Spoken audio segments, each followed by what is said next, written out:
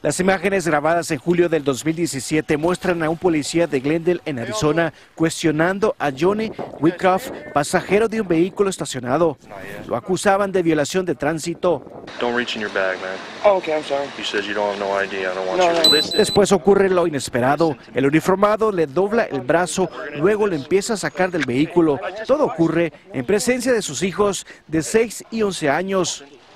He's gonna fight, dude. No, I'm not, bro. Ow, please stop. I'm not fighting. Relax. I'm doing nothing, man. I'm not doing nothing, bro. tell you right now, you're gonna continue. Ow. El hombre se encuentra de rodillas en el piso y le empiezan a dar descargas eléctricas en la espalda y el brazo. Como si eso fuera poco, el uniformado retrocede y le dispara nuevamente.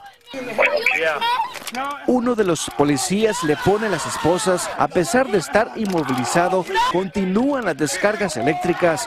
No fueron una ni dos, tampoco tres, sino que 11 descargas, algunas hasta en los testículos. Finalmente, Wycroft fue arrestado y acusado de asalto agravado contra un oficial. La víctima está demandando a la policía de Glendale, alegando que los agentes violaron sus derechos constitucionales y hubo uso de fuerza excesiva y tortura. Mom is the one that hit Mark in the head. Una cámara en el estacionamiento muestra a la mujer lanzando un objeto que impactó la cabeza de uno de los oficiales. Ella también fue arrestada.